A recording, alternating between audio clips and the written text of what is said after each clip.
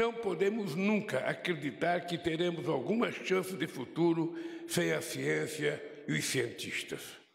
Foi por meio da ciência que conseguimos nossos maiores feitos, feitos que transcendem a academia e os laboratórios e se fazem presente na saúde, na indústria, no campo e no dia a dia de cada pessoa deste país. Se temos uma grande produtividade agrícola, isso se deve a décadas de pesquisa nas universidades e na nossa querida Embrapa.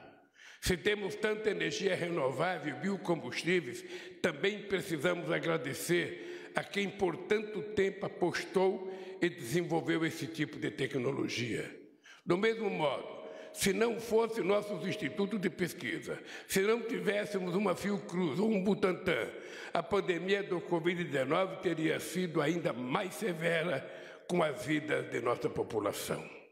A verdade é que a ciência é aliada da vida e do desenvolvimento. E é nesse momento histórico que ele se faz mais necessária para o futuro do Brasil.